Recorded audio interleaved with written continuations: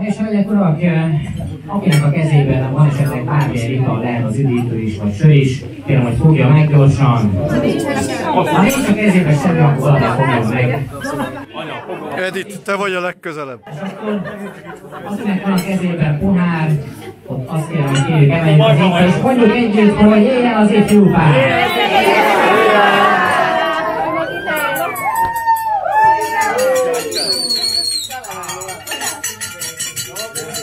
Hát szóval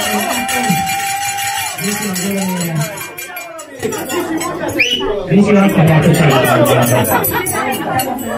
Ő mondod.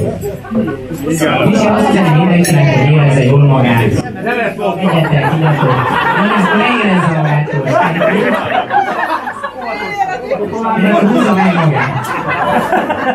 Ha az ő arcán mosoly látok, akkor lehet benne is mosolyogni. A reggelig mindenki papopa. És hát hölgyek uram, a kollégánk már hozzánk az előételeket, amihez kívánok mindenkinek. Nincs, nincs jó étvágyat.